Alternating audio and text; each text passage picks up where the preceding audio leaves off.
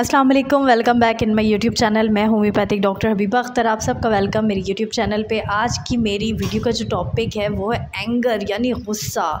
तो ये तो बहुत ही कॉमन है बच्चों को, बड़ों को, सबको ही गुस्सा आता है। लेकिन एक बात मैं आपको बताते चलूँ, जो बच्चे होते हैं, क्योंकि जब वो पैदा होते हैं, बिल्कुल एक ब्लैंक स्लेट होते हैं, उनको कुछ नहीं पता गुस्सा क्या है, प्यार क्या है, या सैडनेस क्या है। यानी उनको किसी इन जज्बाती फीलिंग्स के इमोशनल फीलिंग्स के मुतालिक उनको नहीं पता। जैसे जैसे वो बड़े होते जाते हैं, वो अपने बड़ों से ये चीज़ लर्न करते हैं और उनमें ये सब चीज़ें आती जाती हैं। अगर आप बच्चे के सामने गुस्से में बिहेव करेंगे तो उसके अंदर गुस्सा पैदा होना शुरू हो जाएगा। उसको पता चल जाएगा कि मुझे गुस्से का इजहार कैसे करना है, मुझे किस तरीके से करना है। अब यहाँ पर एक और चीज़ बहुत अहम है, बड़े किस तरीके से गुस्सा करते हैं। कुछ लोग होते हैं, वो चीखते हैं, चिल्लाते हैं, कुछ होते हैं अब्यूज़ करते हैं, कुछ लोग होते हैं, अपने अंदर गुस्सा भरते रहते हैं भरते रहते हैं, बस खुद बहुत ज़्यादा बेचैन हो जाते हैं इवन के डिप्रेशन की हद तक जा सकते हैं।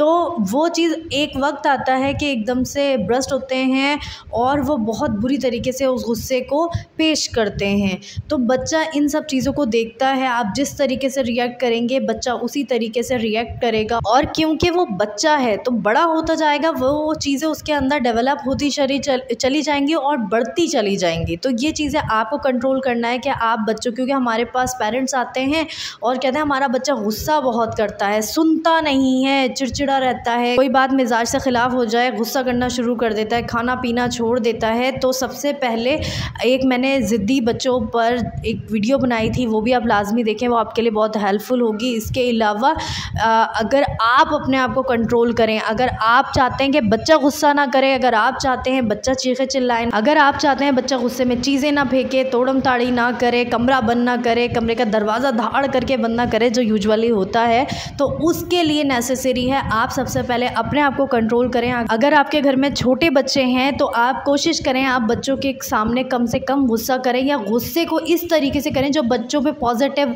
यानी रिएक्ट आए। बच्चे सीखें कि गुस्से को कंट्रोल कैसे करना है या गुस्से में रिएक्ट कैसे करना है, क्योंकि वो आपसे ही सीख रहे हैं, क्योंकि उन, वो जब पैदा हुए, वो जब थोड़े से और बड़े हुए तो उनको बिल्कुल नहीं पता गुस्सा क्या चीज़ है, कैसे इजहार करते हैं, इसका किस तरीके से इजहार करते हैं इसका।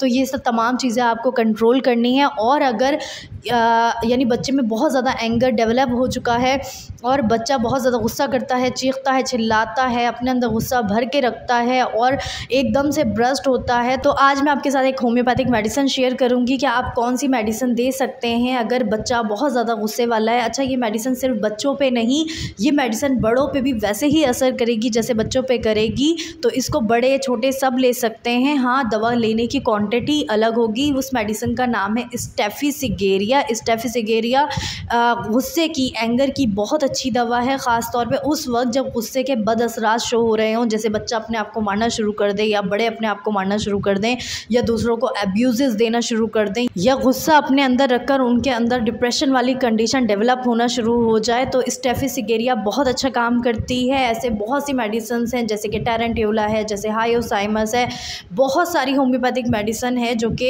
एंगर में काम करती है और मेड बहुत अच्छी है, लेकिन जो मेरी क्लिनिकल प्रैक्टिस में सबसे ज़्यादा यूज़ की जाने वाली है, वो स्टेफिसिगेरिया है और इसके मुझे हमेशा रिज़ल्ट मिले हैं। तो अगर आपके घर में कोई बच्चा या बड़ा जिसको एंगर इश्यूज़ हैं और उसके ये तमाम सिम्टम्स होते हैं, जो मैंने अभी आपको बताया तो आप उनको ये यूज़ करवा सकते हैं। इवन कि आप ये ख़ुद भी यूज़ कर सकते हैं तो होपफुली आपको ये मेरी वीडियो अच्छी लगी होगी। तो अगर आपको मेरी वीडियो अच्छी लगी है, जल्दी से मेरे चैनल को सब्सक्राइब कर दें और मेरी वीडियोज़ को लाइक करना बिल्कुल भी मत भूलें। Thank you so much